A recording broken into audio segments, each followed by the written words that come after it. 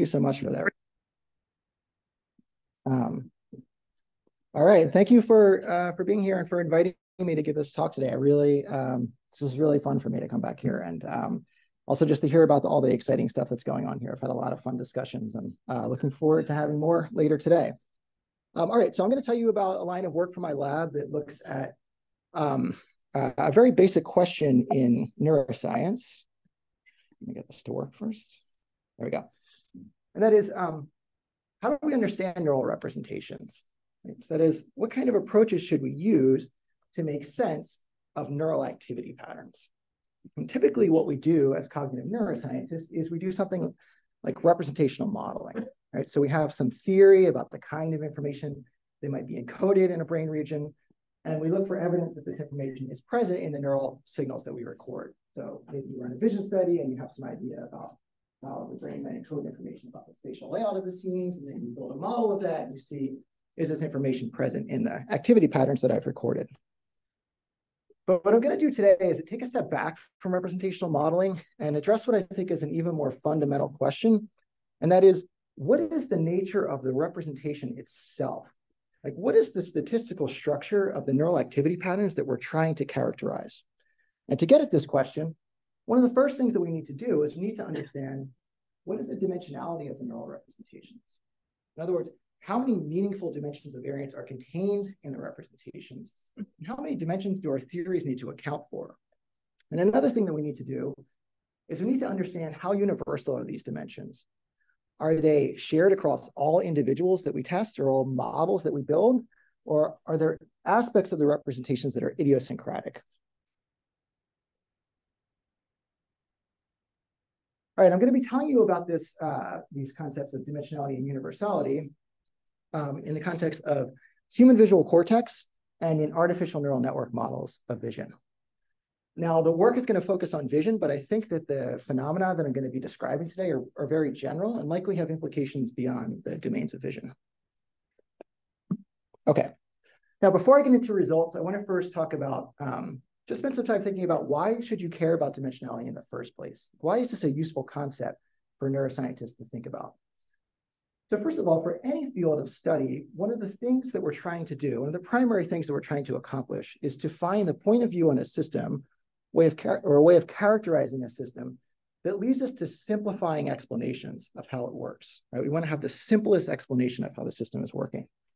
And I think that in the quest to understand neural representations, viewing them from the perspective of their latent dimensions gives us this kind of simplifying view. It reveals properties of the representations that would not otherwise be apparent. And I'm going to show you some examples of uh, findings from my lab where we wouldn't have been able to, to see these properties of the systems if we weren't viewing them from the perspective of their latent dimensions. Okay, uh, another reason why you might care about dimensionality is that it's one of the key signatures of the computational strategies used by brain systems. And I'm going to uh, highlight this by just going through a couple concrete examples. So motor cortex is one area in which uh, dimensionality has gotten a lot of attention. So despite recording from many neurons in motor cortex, studies consistently report that almost all of the explainable variance in the data is concentrated on a reduced subset of dimensions. And the idea is that you can do dimensionality reduction in this relatively small subset of dimensions that explain the activity patterns in motor cortex. And it's been argued that this has some computational benefits for motor cortex because it essentially reduces the complexity of action plans. Right? It, it means that you have fewer independent components that need to be controlled when you're planning an action, and it makes it simpler and more robust when you're generating action plans. This uh, idea has also had a big influence on uh, brain-computer interface devices. So a lot of systems that interact with motor cortex operate on low dimensional projections of the motor cortex recordings. Another area where dimensionality has played a theoretical role is in vision. So a long-standing theory of vision argues that the way in which visual computations over the hierarchy of visual cortex or in neural network models, the way in which they accomplish invariant object recognition, they're able to identify things from many different perspectives, is through dimensionality reduction. So that they're sort of compressing the representations. They're doing this information compression to compress the representations into a subset of dimensions that distinguish object categories and that suppress variance along irrelevant dimensions, right? Things that might have to do with low-level sensory details. Okay, but not all theories that talk about dimensionality focus on the benefits of low dimensionality. So there are also very compelling theoretical arguments for why you might want to have high dimensional representations. And two of the most important are the ideas of efficiency and expressivity. So high dimensional representations are efficient in the sense that they're making the best use of the neural resources, right? So if you think about it, there are many neurons in any system that we study. And if it's low dimensional, that means there's just a lot of redundancy across the neurons, right? If it's high dimensional, it means that the coding capacity of that set of neurons is being optimized, right? Using as many dimensions as possible to encode information. Mm. These things are also expressive in the sense that they allow stimuli to be flexibly categorized and separated in many potential ways, right? So if you have a low dimensional representation, you only have a few axes along which you can uh, separate stimuli or group stimuli. In high dimensional spaces, you can group stimuli and separate them in many possible ways. Okay, so let's get into some findings. So I'm first going to tell you about a line of research looking at the dimensionality of human visual cortex. This is a project that was led by my student Raj Gauthaman, and uh, it was in collaboration with Brice Ménard at Hopkins. All right, so to do this, we're going to take advantage of a unique data set. So this is the natural scenes data set. It's currently the largest existing fMRI data set of high-level human vision.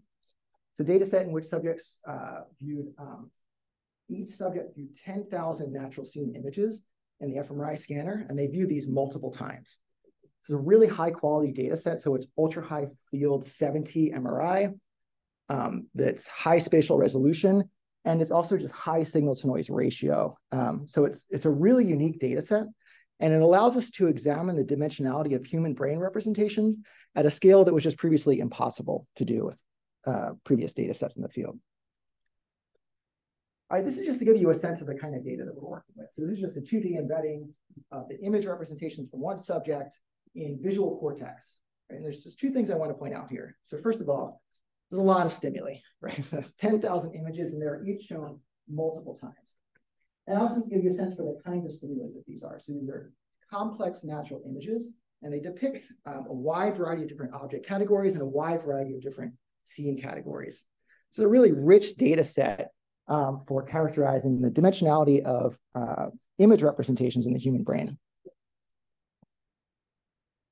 All right, so now how do we actually do this? How do we actually characterize the dimensionality of uh, image representations?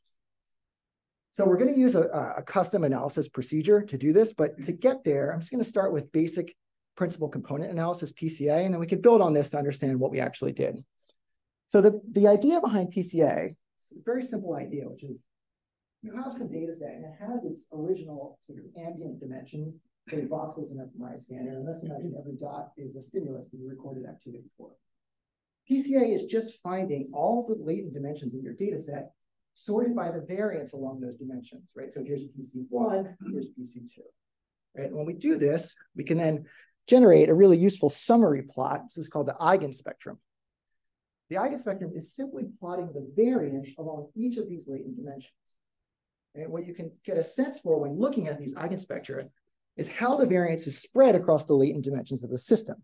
So if it's a low dimensional system, like the one here in this toy example, almost all the variance will be concentrated on a reduced subset of dimensions, right? And you can think of the system as basically being described by this subset of dimensions where um, all the variance is concentrated. So this would be a low dimensional system. Now, in the kind of data that I'm going to be showing you today, the data span thousands of dimensions. So the eigenspectra that we're going to plot look like this. So they're going to be plotted on a log log scale, and each dot will correspond to the average um, the average variance, or what's called an eigenvalue, for a bin of principal components, right? So we're actually spanning thousands of principal components here, but we're just averaging in bins across the eigenspectrum, just so we can see the trends more clearly. Okay, now there's a couple methodological points that I want to um, emphasize here that where this differs from standard PCA. Standard PCA is not the right kind of method that you want for characterizing the dimensionality that we're interested in. So what we want to do is we want to characterize the dimensionality of stimulus representations. So dimensions that are uh, encoding meaningful information about the stimuli. We just applied PCA to our fMRI data. We're going to have an eigenspectrum that tells us about the signal of interest, the stimulus representations, plus any noise that happens to be present in the data set that we're analyzing. By the way, the type of data that we're analyzing is just a big matrix of voxel responses to all of the stimuli in the study. So 10,000 images by three repetitions. Okay, now this problem of signal and noise, luckily there's a way to handle this, and it's through cross-validation. So I'll show you what this looks like in a minute, but the basic idea is that by cross-validating the eigenvalues, we can get a sense for the variance that's reliably stimulus related and can't be attributed to random noise. So importantly, with this analysis, if you were to apply this analysis to data that's just completely random, the expected eigenvalues would be equal to zero. Okay, there's one other methodological thing I want to point out here, which is that we're, we're not going to do just standard PCA where we look at a single data set. We're going to use a procedure called cross decomposition. So in PCA, what you can do is you can identify the latent dimensions of a single data set. In cross decomposition, what you can do is you can identify the shared dimensions between two different data sets. You can align these data sets along their shared latent dimensions. And then you can then get something that's basically the same as an eigenspectrum, except now you're looking at the variance of the shared dimensions between these two data sets. Now, this allows us to do two things. First, when we're analyzing individual subjects, we can look at the dimensions that are shared across different repetitions of the stimuli. But we can also do something that's very uh, useful, which is that we can even align two different subjects along their shared dimensions, and we can look for representations that are shared across individuals. All right, so understanding this, we can now look at how we actually partition the data to do these analyses. So we have these matrices of voxel responses to images, and what we can do is we can separate them into the responses to the first presentation of the images and the responses to the second presentation of the images, right? We can, we can then also split it into a training set of images and a test set of images. So when we do this, we can then apply our cross decomposition procedure. We basically find the shared latent dimensions between these repetitions of the stimuli. And we can then test the cross-validated shared variance in the held out test images, right? So in the end, we get something that's very much akin to a standard PCA eigenspectrum, except all of the values on this spectrum now are robust cross-validated estimates of the reliable stimulus-related information. Okay, any questions about this? Feel free to interrupt me if you have questions. Yeah. Not sure I understand how you, what counts as a shared, if or your one slide. Yeah. Back, what counts as a shared latent dimension? Is it just, the, say, the first rank in both? So this actually will find all shared latent dimensions that are, and they'll be orthogonal to each other and they're sorted by their variant. So like in this data set, for example, this is just two-dimensional data set, right. but you can see that, you know, you can align the dimensions, you can align the data sets along the first dimension, but you can also align them along the second dimension as well. And you could just do this for all all the shared dimensions that you're able to find in your data set. So is it essentially finding a like the rotation of the white space? That's exactly what it is. You're just rotating the two spaces so that they're maximally aligned. Yep. Mm -hmm. If you're if you've ever uh, this is very similar to some other methods in the field like Procrustes alignment and also uh, canonical correlation analysis, but it, all these things are actually variations on the same underlying math actually. Okay, and yeah.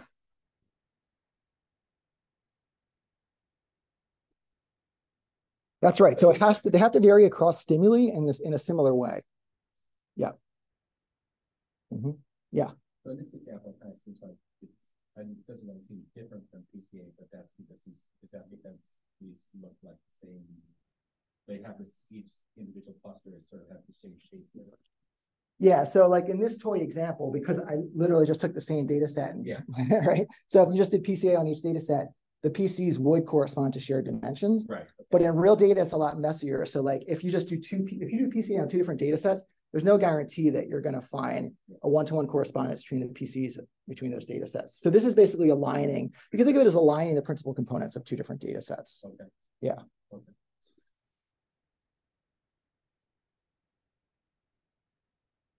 Yeah. Yeah, learning the principal components in rank order.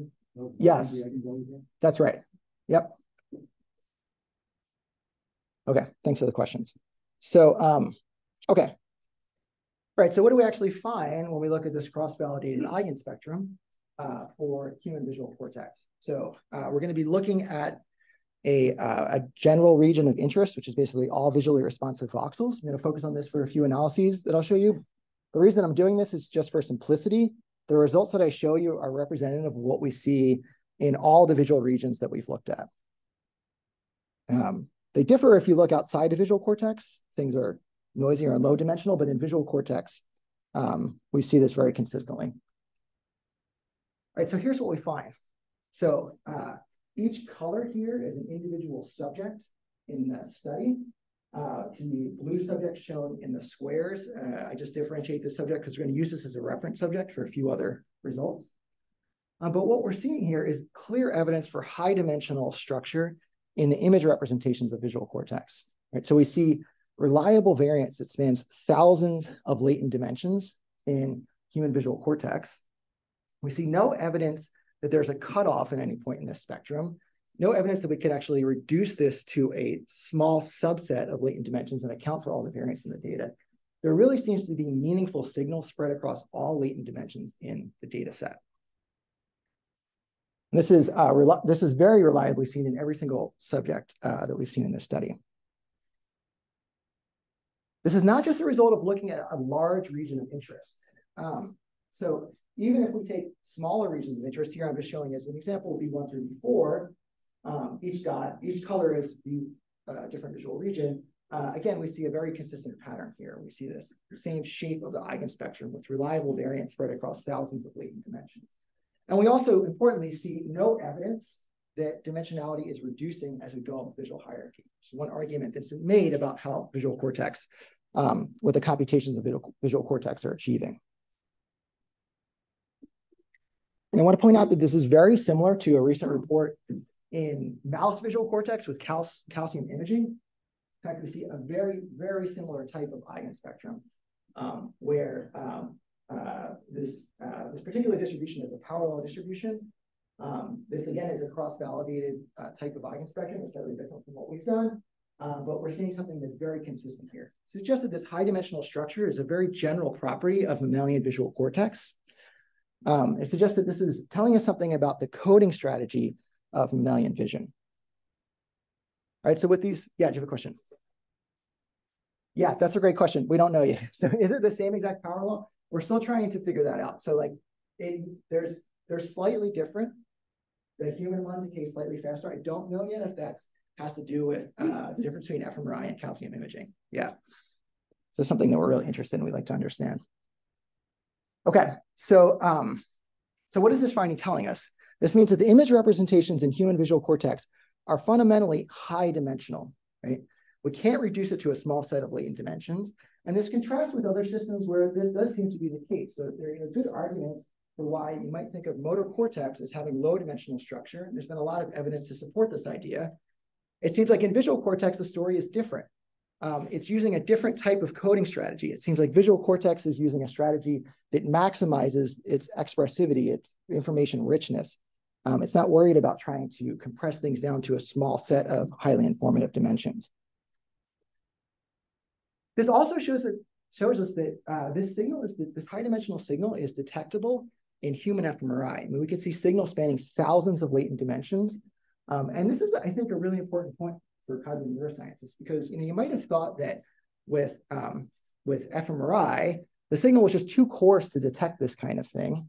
Right? But what we're seeing is that with state-of-the-art neuroimaging methods and with a data set that's large enough, um, we can very robustly detect high-dimensional signal in the human brain. And this is really cool because it suggests that you know we have the tools that we need to study how the human brain operates in high dimensions. We're not limited by our methods. We're just limited by the scale of our data set. Right? We're only able to see this because this is a very large scale data set. All right, one other thing I want to point out here is that um, the nature of this distribution is consistent with a power law, where the variance decays as rank raises in power. In this particular case, it's around negative 1.5, but I'm not going to make a strong claim that that's exactly the right exponent. Um, but nonetheless, the idea that it's a power law that suggests that these representations are scale free. And the way that you can think about that is that if you were to look at this distribution at any point along this along this spectrum, it would look essentially the same. The shape of the distribution would look essentially the, the same.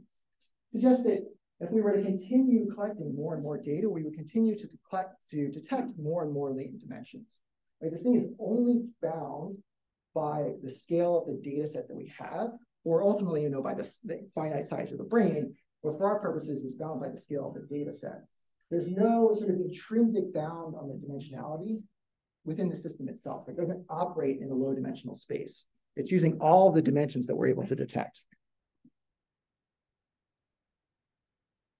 Okay, so when we found this finding, um, one of the things we wondered is like, okay, it's one thing to see high dimensional structure in each individual, but a really strong uh, case for the idea that the visual cortex really is fundamentally high dimensional, uses a high dimensional code, would be to find evidence that these things are shared across people.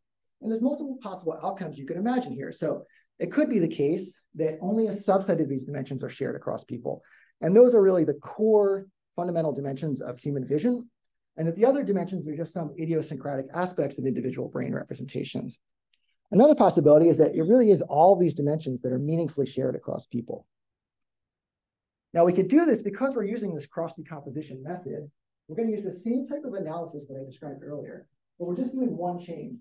Instead of looking at different presentations of the stimuli within a subject, we're going to look at two different subjects. You do this for all pairs of subjects. Right, so uh, what we're doing here is we're finding the shared latent dimensions between pairs of individuals. All right, we're going to plot the same type of eigenspectrum that I was showing you before, but now again, it's information that's shared between subjects. I'm just going to show you relative to subject one for simplicity, these results are representative of what we see for all pairs of subjects. So what we find is, remarkably, there's shared high dimensional structure across all of the dimensions that we're able to uh, measure uh, between these subjects. I'll just point out this is a slightly, the scale doesn't go as far out because not all of the stimuli were shared across people. So we just, we have a reduced set of stimuli to look at here. But for the set of stimuli that we have, we see reliable information across nearly all ranks of of, uh, of principal components. Yeah. question about the pairing, is it um, subject one relative to another subject, or is it? That's right. So what it is is like it would be say take subject one. Actually, I didn't put this up. So the blue square is actually subject one with themselves. Okay, and then all the other colors would be take another subject and compare it to subject one. Yeah. And to see what are the shared dimensions between that pair of subjects. And was subject one chosen at random? Yeah, yeah. This is representative of what you see for, for any pair of subjects. Mm -hmm. Yeah.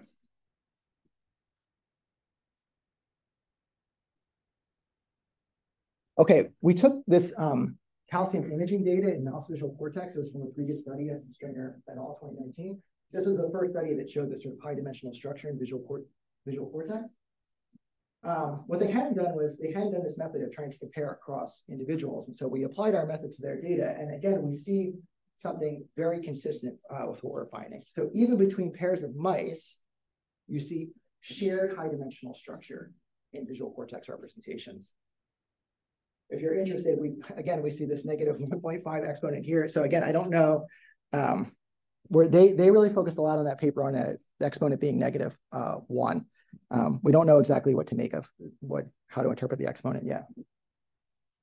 Okay, what this is telling us though is that the high dimensional image representations of visual cortex are shared across individuals, right? We see this in humans, we see this in mice, um, and we see it even shared between people. And I think this suggests that that high dimensionality really is a central property of the cortical code for vision. If we want to understand how vision is working, we need models that account for this high dimensional structure. We're not going to be able to understand it from a low dimensional perspective. And I also just want to point out that to, this is getting a point that I raised earlier at the intro, is that if you want to see this high dimensional structure, you really need to investigate the representations from the perspective of their latent dimensions. Um, this is especially true when you compare across individuals. So if you just assume anatomical alignment between, between people, you don't try to do a rotation across people, you can't see this shared high dimensional structure. Things look lower dimensional.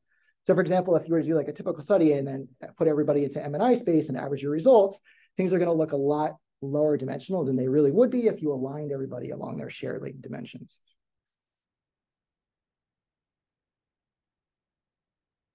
Okay, I'm going to move on to talking about artificial neural networks now, but before I do, are there any questions about this? Yeah. So this is trying to say that the to the dimension, like they're the same dimensions in the same order, or that, that your alignment procedure makes that? Yeah, so that's a great question. So are they necessarily the same dimensions in the same order? So they're they're they're the same dimensions in the sense that they have the same variance across stimuli. Are they in the same exact order? They're not in the same exact order, but they're they don't shift a lot. Like basically, like you know, if you think about like where like the rank might move from individual to individual, but it's not going to jump like an order of magnitude, right? Yeah. So there's some local changes in the ranks, but it's not.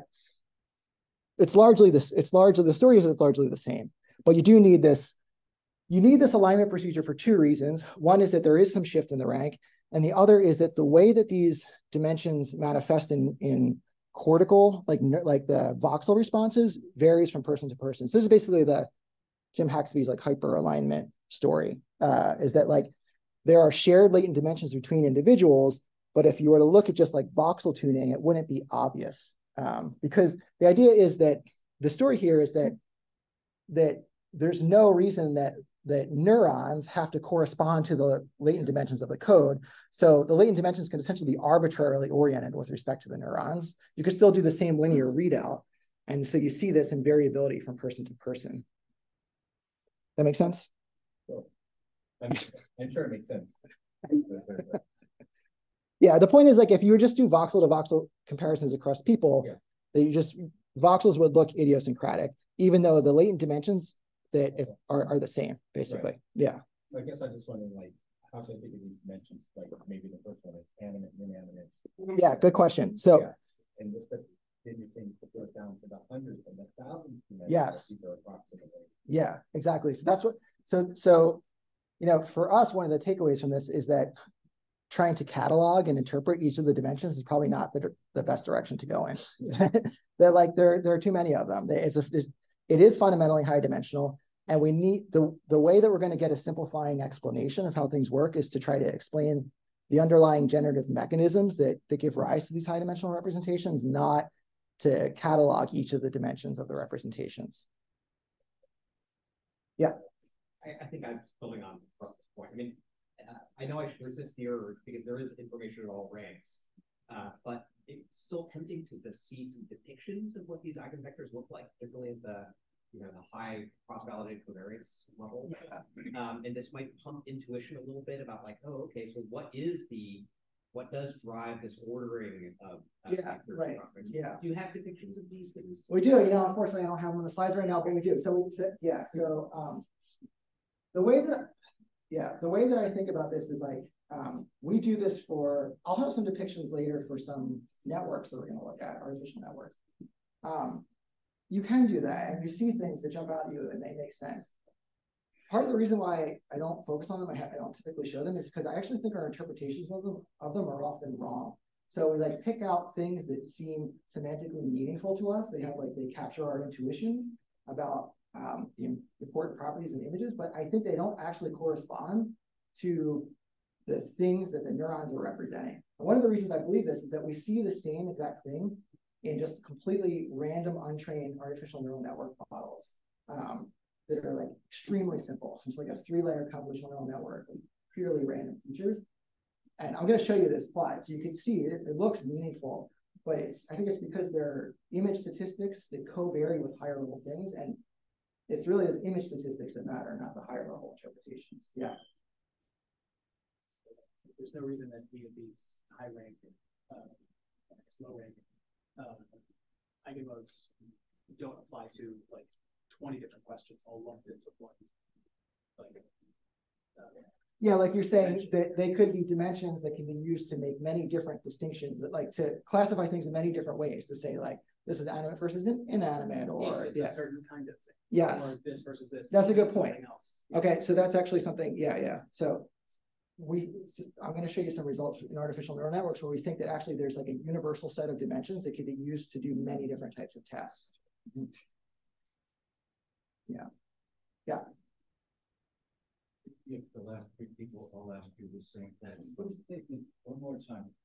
Uh, you got a eigen spectrum, I got an eigen spectrum, you're rotating your axes, we're both of them. So in what sense are you asserting that something is shared between me and you? So each of us in a training set, we can, I can say align our, our, the latent dimensions of our pop, neural population codes. And then in a test set, I can estimate the reliable covariance of those dimensions. And in permutation tests, the expected value, like I didn't show you this here, but you can put p values on these and they're all highly significant. So in permutation tests, the expected co- covariance would be zero. So there's, so by chance, we're not gonna find reliable covariance between our brains if there's nothing shared between them. Uh, it wouldn't, it wouldn't generalize to our test set. But when we uh, generalize to the test set, we see reliable covariance. It suggests that there's something meaningful that's shared between our brains that um, you don't, you wouldn't find it by chance. Yeah. Yeah. Yeah.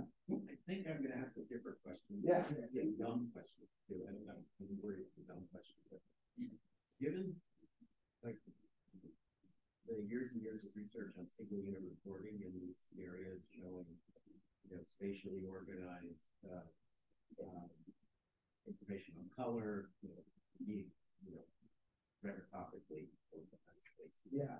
And then, um, spatial frequency, motion, et cetera, et cetera, et cetera. Um, wouldn't you expect a high frequency, this kind of outcome? I mean, isn't it like, if you didn't get this pattern, would you say that, oh, the brain is explaining it differently than we expected, or that fMRI just doesn't, it doesn't Yeah, so, okay, so there's two things here. So one is that, um, you know, having a lot of theories about visual cortex as doing, and art, and artificial network models too, as doing essentially information compression. That it's, it's basically taking this high dimensional sensory signal and extracting this low dimensional set of, uh, representations that's highly useful for behavior. Um, and, uh, and so, um, and in fact, in the like the mouse work that I showed you briefly, where they the first reported this power law in biological vision, um, that was a very surprising finding. So the point of that study was actually to try to uh, they they collected a large data set of mice and they wanted to say how many dimensions are there. So we expand our data set, we should find where the limit is in dimensionality. People have tried to do this before on smaller data sets. They tried to like extrapolate like uh, it's been it's been proposed in some previous work that maybe there's like a hundred-ish dimensions of object representation in high level primate cortex. Um, what you find is that when you scale the data up, things don't saturate. Dimensionality doesn't reach an upper bound. It just keeps going. Given that we can discriminate uh, thousands, thousands of different types of Yeah, mice or apples. yeah. You don't. It turns out you don't really need that. So like 100 dimensions, you can discriminate a lot of things with 100, 100 dimensions. Yeah. Um, so it's it's, yeah, from we're trying to appreciate the find, the, the implication of finding was hard to do because it, it wasn't clear like what you would expect. Yeah, I see what you're saying. Yeah, yeah, yeah. Um, yeah, so even 100 dimensions is, is very high dimensional, actually. So you can do a lot with that.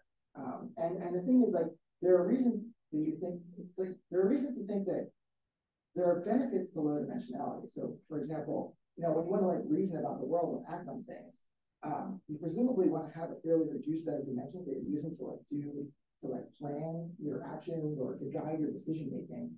And if you're trying to sample tens of thousands of dimensions and con- consider all those things, um, you know, it, it just it just makes action planning, I think, fragile. Um, and so uh, there are scenarios where you might want low dimensionality, but it seems to be in sensory representation that's not the case.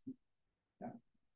So taking one more bite of this, that, so to, to refute the claim that there's some dimensionality reduction or compression happening across visual areas, wouldn't you have to then also show that then the eigenvectors cannot be brought in alignment by rotation across visual areas? So train in V1 and then test in. Right. So I don't have that here, but that's right. So like there's more shared variance. So like we could take two individuals and compare like V1 to V1 or Right. V1 to V2. There's more, there are more shared dimensions within a region than across regions. Okay, so, okay, so at least the dimensions start to not be quite as shared. if you, If you do, uh, between region, yeah. yeah, okay. that's right. Yeah. All right, well, that's helpful. So that, so that tells you at least that there's something about. There's the transformation. Yeah, that's happening. There's a transformation, it's just not compression. Yeah, that's right. All of this high dimensional, high dimensionality, low dimensionality talk is under the caveat, this is all linear, right?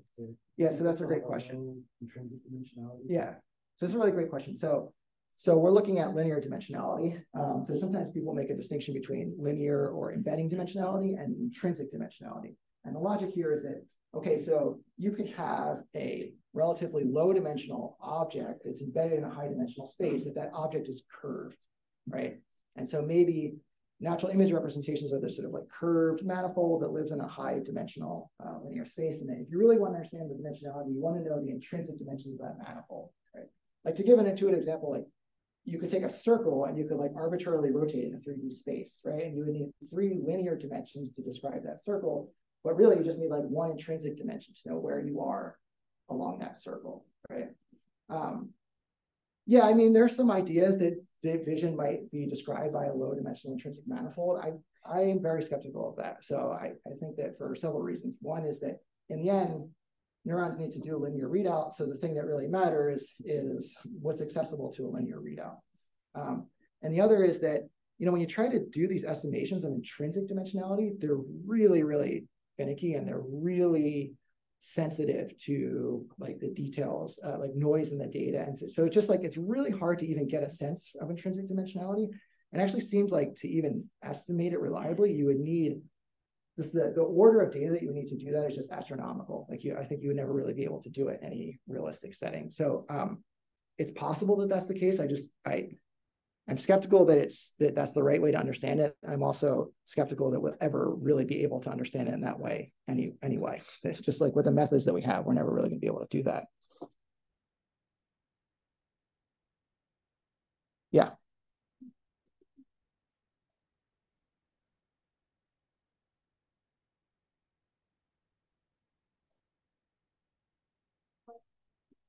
What could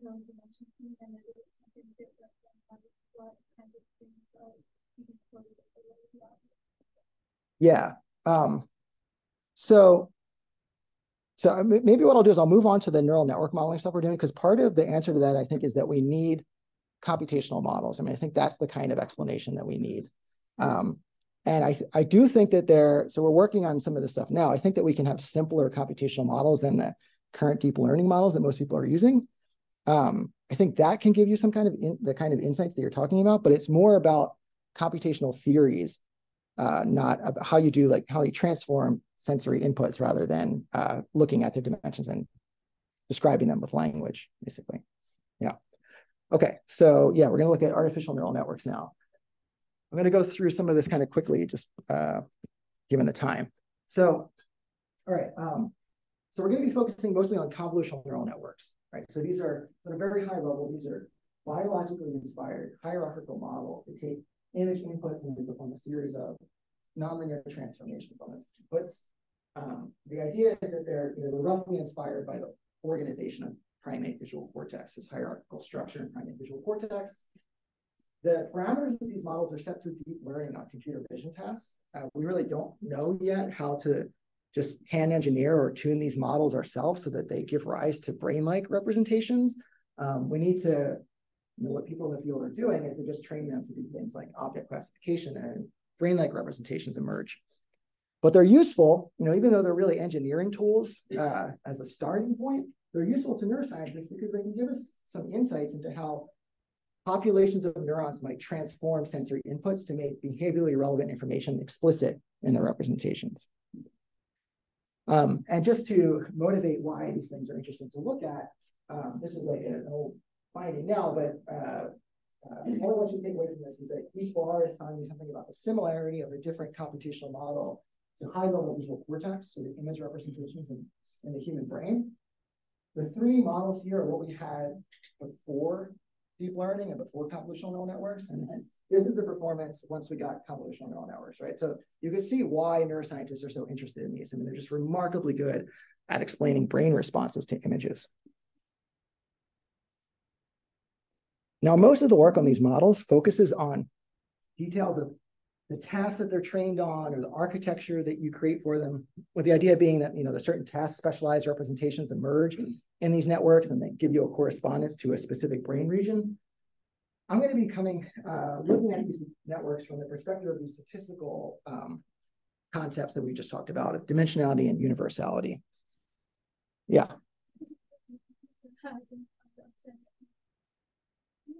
by universality, do you mean that the eigenspectrum pattern sort of the, I mean, the, the power, power index?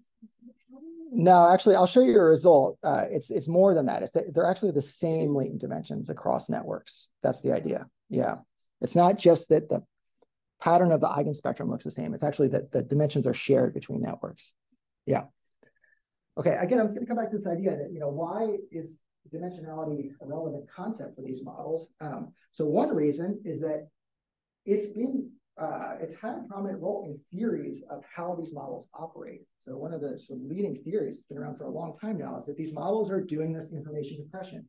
They take a set of objects, um, concepts that have these like really high dimensional representations of sensory inputs, and they compress them down to lower dimensional manifolds that just highlight the key semantic distinctions between objects and sort of get rid of irrelevant sensory details. Right, but you can see there's a bit of a tension between that thinking about how the visual hierarchy works and the kind of results that I was just showing you, which is that basically all throughout visual cortex, we see the same high dimensional structure. Mm-hmm. Right. So this led us to ask a really simple question, which is, what does the dimensionality look like in the best computational models of visual cortex? Are the best models ones that learn low dimensional image representations that just highlight key semantic dimensions, or the ones that have high dimensional structure? All right, so this is a work that was led by uh, one of my former students, Eric Elmoznino. I'm gonna, uh, yeah, in the interest of time, I'm gonna go through this kind of quickly. The basic idea here is that we're gonna examine a bunch of different uh, neural network models. We're gonna compare them to um, representations in visual cortex of images. These are ob uh, object images. In this particular data set, it's electrode recordings in monkey and high-level monkey visual cortex, but the results are representative of what we see in human fMRI as well. The basic idea is that we'll just learn a simple linear mapping from the model's representations to each of the, um, the units in this multi-unit recording. Right, we learn that mapping and then held out data, we test the ability to predict the brain activity. So this is what's sometimes called an encoding model. You know, some of the plots I'm going to have, it's called an encoding score. Basically, how well does this model do at predicting brain responses? For these models, we can also then look at their latent dimensionality. So we just plot their eigenspectra for natural image representations. Just feed a bunch of images into the model and plot their eigenspectra. And we're going to look at models that are trained on a variety of different tasks, um, including different supervised and self-supervised tasks. And um, I just want to highlight that these tasks really do vary a lot. So there's sort of standard types of tasks on ImageNet, but also um, I'll just zoom on, zoom in on a few examples. Sort of weirder tasks, so that you think would require very different types of representation. So semantic segmentation, so like you know drawing a line so around each of the objects in the scene, so separating the objects. Surface normal, sort of mapping out the 3D structure and orientation of surfaces in the scene. And even weird tasks like solving a jigsaw puzzle. So like cut the image up into pieces, move it around, and ask the network to put it back together again. Right. So things that you might expect to elicit very different types of representations. But what we're going to do is we're going to just look at the eigenspectrum of these models. Um, and I'm going to, in some of the plots, I'm going to uh, show a metric called effective dimensionality. Just a way of taking an eigenspectrum, like a complex plot like this, and just converting it into a single metric. The basic idea here is that if effective dimensionality is higher, that means that variance is spread across more latent dimensions. And if it's lower, variance is concentrated on a small set of latent dimensions. Okay, so what I'm going to plot here are the eigenspectra for all the neural network models that we analyzed. And I'm going to color code them according to their performance in explaining brain responses. Right, so each line here is a different neural network.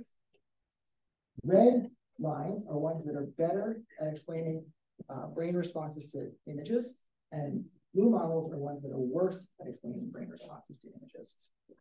So what you can see here is a very clear trend in which the best neural network models of visual cortex are the ones that have uh, slowly decaying eigenspectra. Okay? And the ones that are worse neural network models of visual cortex are the ones that have most of their variance concentrated on a subset of dimensions, and then it rapidly, rapidly drops off after that. And we can convert this into, um, into uh, a scatter plot where now each dot here is a neural network model. On the x-axis, I'm plotting this effective dimensionality metric that I just told you about. Basically just converting the eigenspectrum into a single number. And the y-axis is the encoding score, basically how well does it do at predicting brain responses. And there's a very clear, strong relationship between dimensionality and encoding scores. Right, so the high the, the models that have high dimensional structure are better at explaining brain responses. And I just want to highlight again, like these are models that vary in a lot of things. They're trained on different data sets and things like that. Right? It turns out that in this set of models, the tasks don't really seem to matter that much. What matters is the richness of the image representations that they've learned. Mm -hmm. red and blue models from run the like learn a similar kind of task several times, you'll end up with some that are in the red. Some. Well, now the idea is that some tasks are good at learning high dimensional representations. Some tasks only require low dimensional representations.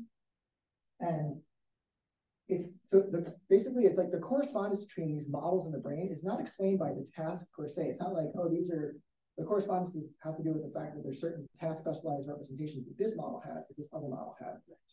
I, am going to show you results to point to this idea later, which is that um, they're all basically learning the same dimensions. It's just that some of them learn more and some of them learn less than the dimensions. Yeah.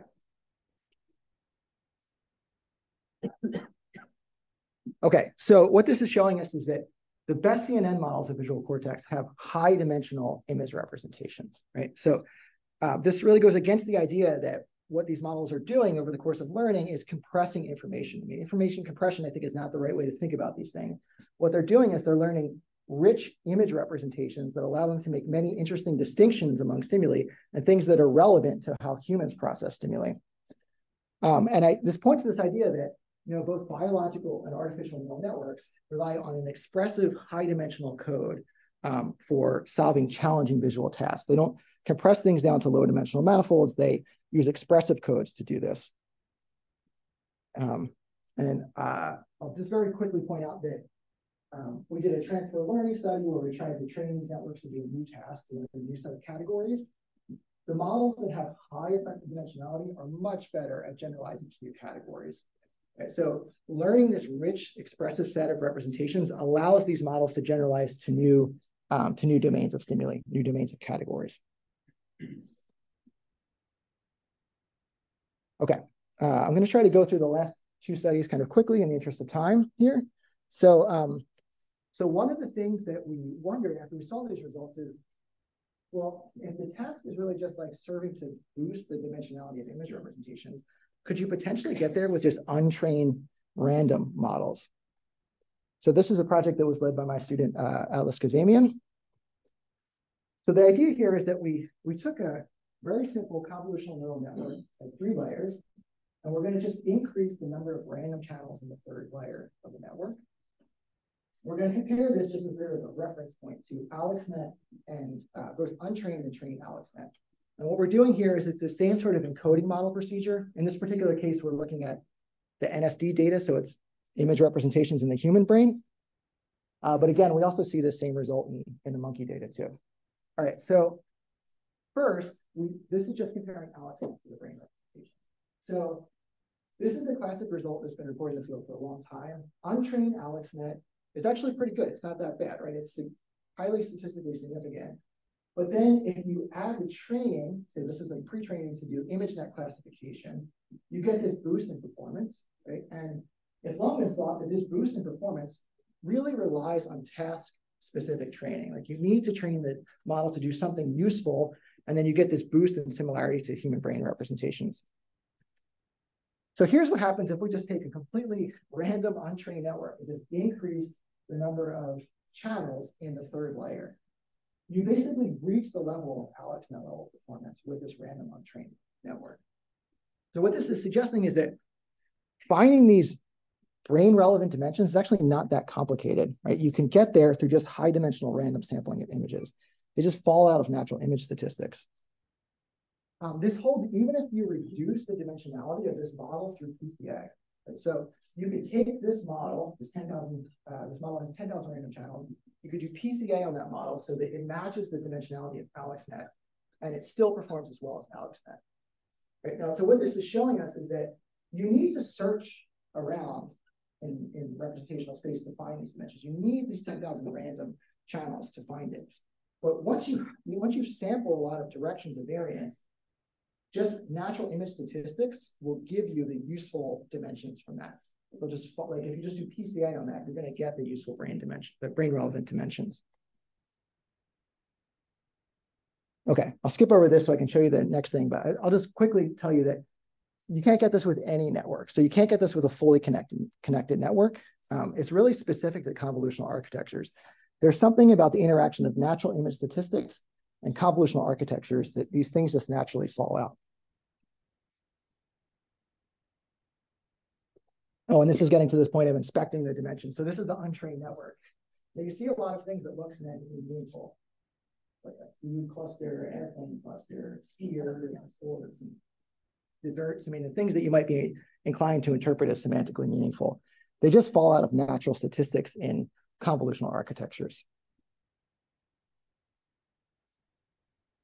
Okay, so I'm going to very quickly tell you about this last finding related to universality in these networks. So I've shown you two findings that suggest that task-specific training in these networks is really not important for understanding their similarities to the human brain. You can get brain-relevant dimensions in many different ways. Uh, there's nothing special about the tests that, um, that are being used to train these models. So what we wanted to do is see, is it the case that actually all these models are basically just learning the same thing? a universal set of representations. So the way we did this was to take many different uh, deep neural network models and extract their latent dimensions and then compare latent dimensions across models. So we can say, for a given dimension, do we see this dimension in many different neural networks? Okay, and we can compute a summary statistic from that called the canonical strength. So dimensions that have high canonical strength are ones that you are found in many different DNN models. And ones that have low canonical strength are ones that are just idiosyncratic. You only see them in a specific model. Okay. For these dimensions, we can also compute a brain similarity metric, which is on the y-axis, which is, is this dimension also found in the human brain? All right, so we say on the x-axis, we're trying to estimate, are these dimensions universal across many different models? On the y-axis, we want to know, are these dimensions also found in the human brain? Yeah. Yeah, it's a cross-validated prediction accuracy. That's right. Okay, so I'm going to show you a few different examples of this. The way these plots work is that each dimension here, or each point here is like a principal component from a neural network. There's many neural networks, there's many principal components. At this point, over the course of all the things we've looked at, we've probably looked at millions of latent dimensions. Uh, we've looked at this in so many different networks. Um, we're gonna uh, a useful way to, to look at this is to just extract the um, the quanta the average value of quantile bins and just look at the uh, the trend, um, the main trend in the data because there's a lot of density here that you can't really see um, in these points. There's so many of these points. Uh, there's a lot of density concentrated on the center there. But what we're seeing here is that there's a very clear trend where dimensions that appear to be universal across different neural networks appear to be shared with the human brain. And the ones that are idiosyncratic and only show up in a subset of networks are far less likely to be found in the human brain. Right? We see in all the analyses that we've done, we've looked at this in many different ways, we almost never see points of an upper left point uh, quadrant of this plot. Right? So that would be points where it shows up in a specific model. You might think that like, I have a special model that's really good at learning just the right representations, and that's going to give me the best brain uh, the best thing for explaining brain responses. And it's special. I don't see the representations in other networks. That would be something up here. We never see that, right? So the things that are shared with the brain are shared by many different networks. You don't need something special to find them, basically. All right, I'm going to remove uh, the background points there and just show these uh, these quantile bins. Instead, I'm going to show you a few different variations on this. So the first thing I showed you, and specify this, but this is a this is a case where we really expect this to work. So these orange points are networks trained on the same task and the same data set with different random seeds at initialization. So we'd like to see that they learn shared representations in the end, and that's what we find. But what I'm going to show you now is that this holds up even when we can compare networks that should be learning different types of representations, right? So these are networks in blue that were trained on different tasks, right? So some of them were image class or object classification, scene classification, a variety of different self-supervised learning tests. The tests don't really matter. What matters is the degree to which the dimensions are universal across different architectures. Here, we took models that were a variety of different architectures now. So that's the green plot. So these are a huge variety of architectures, like classic uh, convolutional architectures, more modern convolutional architectures, and even vision transformers, which look very different from convolutional architectures. And what we can see here is there's a very strong correspondence, and there's almost a one-to-one -one mapping here, where the universality of these metric, uh, these dimensions across models tells you whether they're going to be, uh, you're going to find them in the brain. All right, so what this is showing is that dimensions that are shared by many different neural networks are also shared with the human brain, and suggests that these systems are likely relying on a set of universal representations. Right? They emerge in many different settings. They're largely driven by image statistics, and you don't need specialized architectures or tasks to find them. All right, so to wrap things up here, so what I've shown you is that visual representations in the human brain are fundamentally high dimensional. Right? And this contrasts with um, uh, older theories about how visual hierarchy works, and it contrasts with the known properties of other systems in the brain, like motor cortex, uh, where it's thought to operate in low dimensions. Suggests that the sensory code in vision really emphasizes expressivity. It's a, it's a different type of code. Um, we also see this high dimensionality in the best computational models of visual cortex. And I just want to point out that I think, you know, we've had a discussion about this already throughout the talk, which is that I think this points to the idea that we probably don't want to go in and try to catalog all of these dimensions. The thing that the way that we're going to gain simplifying insights into how the system works is not by probing each of the individual dimensions, but instead trying to identify simplifying underlying generative mechanisms that give rise to these representations. Um, I've mentioned this a few times. Latent dimensions are really, I think, are the right way to look at this. So a lot of the phenomena that we've just talked about are not as clear or just not detectable if you try to examine neurons or voxels. So for example, that uh, universality across models, if you just look at like individual neurons in neural networks, that trend is there, but it's a lot weaker, it's a lot messier. If you look at the latent dimensions, you see that it's really the latent dimensions that are shared and universal across networks.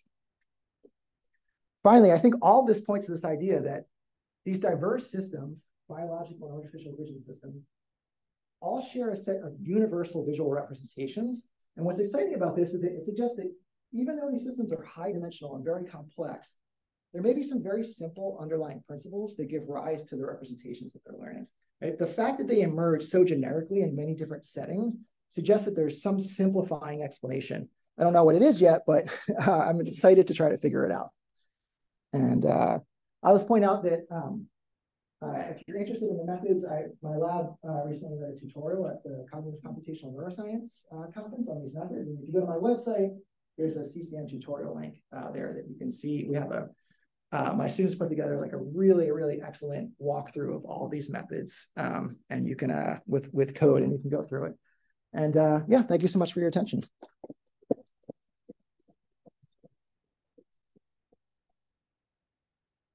Yeah. I have a question about the argument of uh, information compression not mm -hmm.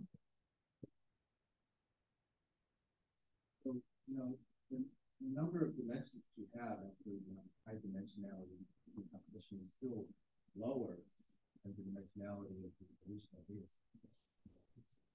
Well, in our case, because it's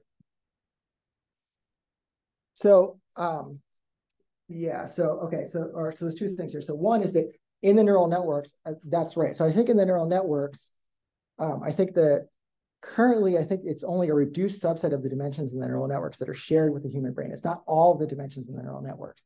And in fact, like I, so I'm showing you like those plots where we're looking at like the what dimensions are shared across networks. It's the things that are shared across networks that are shared with the human brain. But it, the things that aren't shared, like the the dimensions that are specific to individual networks, are actually useful for the tasks that they're doing. It just turns out that they're not useful for explaining brain responses. Um, but in the human brain, uh, I think that really all of the dimensions are, you really can't, you, you can't do dimensionality reduction without a loss of information. You're not just throwing away noise, you're actually throwing away meaningful signals. If, if we think that it truly is a power law distribution, it suggests that there really is, the cutoff that we observe is just the, the finite scale, driven by the finite scale of the data set. It's not inherent to the system. It, it could still be the case, for instance, that, you know, let's say the dimensionality of your neural representation is equal to the dimensionality of the the stimuli. um, Yeah. Kind of hard to quantify. It could be the case that, you know, the more informative dimensions, the more valuable dimensions are allocated more resources. Oh, I absolutely think that's true. So like, so I think that the the variance along those dimensions is telling you something about their importance, right? Right. Yeah. And so the high variance dimensions are going to be the ones that will that will that will be most useful for doing that. You can like you can do a wide variety of tasks, probably with just the first 10 dimensions, right? You can already get like pretty good, you can get like pretty good accuracy. Um, but if you want to, so if you want to get increasing accuracy and get up to like human level behavioral performance, I think you need that long tail of high dimensional representations. Yeah. Yeah. Awesome talk. Thanks so much. Um, I'm trying to understand what you are saying about learning, if anything. Like, is there a role for learning in the story? And we set up our visual representations over time Mhm. with as a function of our experience of the world to some extent. I mean, there's some variance that would need to be explained by what you experience in the world, but these models don't need to learn anything. So, um, like the neural network models don't need to learn anything. Yeah, some of your neural networks. Oh, like the untrained yeah, the networks. untrained. Yeah, that's right. Okay, so let me just clarify. So like the the the takeaway that I want to make from the from the uh the takeaway claim that I want to make from that from the untrained network is not that like visual cortex is just like random dimensionality expansion. It's that um the dimensions that are encoded in visual cortex do not require some task specific learning to like they can they naturally fall out of natural image statistics.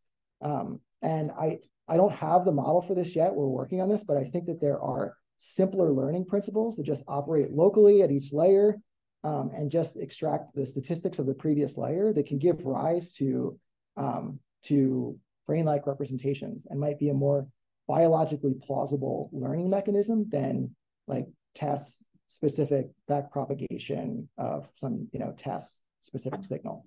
Yeah.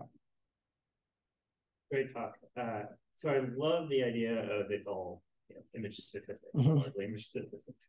But I'm wondering if there's a potential that this is actually maybe reflecting more of an indictment on ImageNet and its lack of variability. Okay. So you think about like complex object recognition, you can recognize objects across a huge variety of image input. Mhm. And things I would expect a neural network that's not trained to link two very disparate uh, visual inputs as the same thing. Yeah.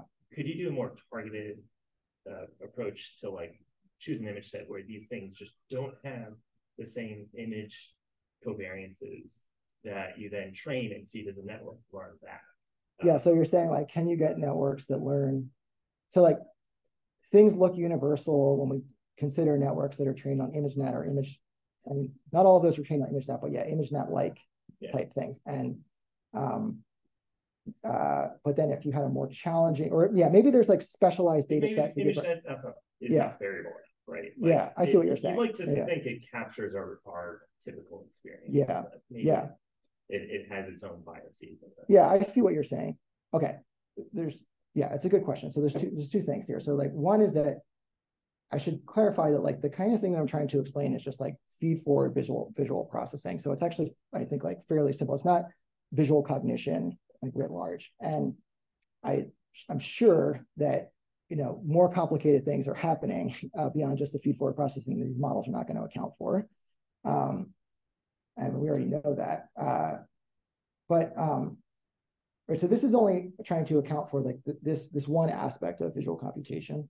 Uh, the other thing is that in general, that w- what we've seen is that it doesn't really matter what the stimulus set is. Now, the thing is, I don't know. Maybe we haven't tested the right stimulus set. Maybe there's like, a, maybe somebody needs to design like just the right stimulus set that changes things here. It's like more challenging. It's more representative of human visual experience. But for our purposes, all the things that we see in the neural networks are representative of what you get from any random set of uh, of natural images. I mean, it has to be sufficiently large. If you have a small image set, then you know things can differ from image set to image set. But once it's large, any set of natural images will give you the same principal components in a network, basically. I guess how does the lane space, if you do pixelized similarity of the ImageNet, stimuli relate to the lane space? You know? Uh, that's a good question. I don't know. Yeah, we haven't looked at that. So like just do PCA on the pixel values. Yeah, it's a good question. Those yeah. are highly correlated. Mhm. Yeah. They're Yeah, not that's a great highly, question. they- They're, they're more correlated. Yeah, we should look at that. We haven't done that. Yeah, that's a great question. Yeah. Mhm. Yeah. I'm just having a little trouble with the intuition on the second part. Mhm. Because it seems to me you told me uh, that you have these networks that have not been trained on anything, they have random. Yeah. And then somehow this, so I put something in there random, you know, and you're saying, but this predicts what happens in the rain. Yeah, Um, but as you mentioned, this only happens for the convolutional. that's right. network. So Yeah. If there is a convolution, like basically a random topic convolutional. Yeah. structure. Yes. So Yeah. Basically, what you're saying is that it's just that, that sort of, uh, it's enough. It's the it's the the statistics yeah. So it's But You're not so saying a random network, but any random. It can't be arbitrarily any random network. Yeah. So the architecture matters has to be convolutional. And like, you know, you could you could create a network that would perform poorly. So you could say like, I'll just going to set all the weights and all the filters to one, right? And it's never going to extract anything, right? Right. So so you have to have some variation in the filter weights. Um, so we're actually now like the student who led that project is now working with a set of models where we just can engineer the features in each layer to because essentially what's going on here is that random filters are still doing like a spatial frequency decomposition of the image. Okay. And so that's what's happening. So you basically have spatial frequency decomposition at multiple spatial scales with non-linearities in between. Mhm. Um, and you do that locally, so with the convolution. So those are the ingredients, I think, that get you almost all of the way there. Um, in terms, at least in terms of explaining like feed forward visual computations. Um, you know, these these models aren't great at doing things like image classification. I mean, they can do it, but it's not like they're not going to perform at the level of like trained AlexNet. Um, but as far as like brain responses to images, they do really, really well. I mean, maybe that gets back to what John was asking earlier, because he's saying, oh, we have this topic organization, so we should kind of expect that. And is this sort of theme here is it's like, is this high dimensional stuff just the fact that your brain doesn't try to reduce the object you're looking at to a categorical dot. It, it has all these topic representations that retain a lot of information. Yeah, although the argument has long been that uh, the receptive fields get so large in high level visual cortex Yeah. that that's not really contribute. Like at that point, you're starting to get something that's like much more abstract, and the the um, the spatial um, information is not the main driver of the dimensionality, um, and that you're you're um, you know that and that's part of why you get low dimensional structure in high and high level regions is because you're basically averaging over larger regions of space essentially. Yeah. But it's but essentially what's happening the way that we're thinking about it is that like even though the spatial dimensionality is decreasing across layers the feature dimensionality is main is, is high it's still high basically right? The not like the the variety of different image features that are being encoded remains high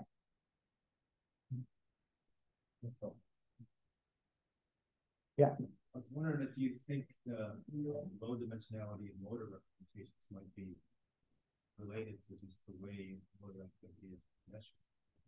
I do think that actually, yeah. So like I, I think that actually motor cortex is probably also high dimensional, and that the studies that have led people to make claims about low dimensionality are are are really just driven like the low dimensionality is just the consequence of simple experiments, not that much variability in what the animals are doing, and so on.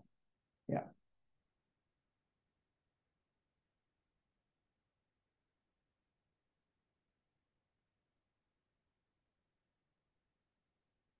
would it be for the, for these like motor cortex studies that, like you're, because you're not looking at, uh, you're looking at the activations, but perhaps that's like a later layer uh, in the motor cortex studies that they're observing, but there's some complex high dimensional space before they get to the spot where they're measuring. I don't know if that makes any Um, sense at all. yeah, or like, like, are you, Like you're not measuring cognition, you're kind of, you're getting to the part. yeah, I see what you're saying. Like, there's some high dimensional space that precedes like the final output of motor cortex or Yeah. whatever, and then it gets compressed right at the final output. Uh, yeah, that's a possibility. I, I don't know. Yeah, that's a good, that's a good thought. Yeah. For the first part of talk, the brain data, how far forward did you look in visual cortex? So, okay, so what we've done so far is we've looked at, um, uh, we've looked at all of the retinotopically defined regions in NSD and all of the um, functionally defined regions. So that includes like, you know, FFA and PPA and things like that. And um, and we've looked a little bit at some anatomical ROIs like anterior ventral temporal cortex. And in general, the story is the same across all regions, except that as you start to get more and more anterior, you basically just see like the whole spectrum just starts to like shift downward. Um, so it's just like a it's just like a global decrease in SNR. It's not like a change in the shape of the spectrum. Have you compared like dorsal ventral? So it looks the same in dorsal and ventral. Yeah. Mhm. But we haven't really done like a deep dive into that. I mean, we've just like generated this for all the ROIs and everything looks I don't know basically the same. think about dorsal, but so much stronger evidence for a hierarchy of ventral. Yeah, right. Yeah, yeah. The architecture might differ. Yeah. Mhm. Yeah, it's a good question. Yeah. It seems to be the same across all these regions from what we've looked at so far. Yeah. So related to this one, I think a group study, I think they have s- established some theory that well, there's a critical point of this kind of a uh, eigenspectrum. Uh, when it's larger than a critical point, Yeah. it's becoming like more uh, efficient coding. The, the math, Yeah. the math of what the, the, lower it's become more smoothly. Kind of kind of sort of uh, general ability and the differentiability, the trade-off between that. Would you say that is is a possible potential? uh, Yeah, so yeah, so that's a really great, great question. So I showed you some uh, mouse data, um, and uh, they argued in that mouse data. Um, actually, why don't we just do this? I'll show you this in neural networks. So they argued in the in the mouse uh, data that that if that that they that basically they found in all the mice that they analyzed, they never found an eigenspectrum that decayed more slowly than negative one. this here is like a negative one power law um, index. Uh, and yeah, they argued, as you said, that if they were if we were to decay more slowly, it would have pathological properties for the representations. The manifold would no longer be smooth. So like small perturbations in, image in image inputs would would like basically they would show up in like the high rank disease and they would like push the representations around wildly and like you could move from like one point in representational space all the way to another point. Um, and uh, yeah, so we also see this up and down in the neural networks that we analyze. So like we, if you, there are details of this, I'm happy to tell you if people have questions about it, but like if you analyze the networks in the right way, never see them decay more slowly than a negative one power law exponent. So it, this, I think there is something to this. We just don't fully understand it yet. Um, but it does seem like there is some upper bound on how how slowly it can decay. Yeah. I think, one, one more burning question. Okay, I think, uh, if anyone asks another question, come up and ask, uh, Mick afterwards, thank you. Very- thank you. Okay, thank you.